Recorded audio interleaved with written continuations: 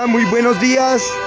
Revolución Integral está acompañando la movilización que se realiza en contra de la vacunación porque eh, las farmacéuticas no se, no se hacen responsables de los daños adversos que esa vacuna eh, eh, puede causar en la salud, en la salud de los colombianos. Tratamientos y vacunas no. No queremos que la salud siga siendo un negocio para los ricos. Queremos que la salud sea un derecho.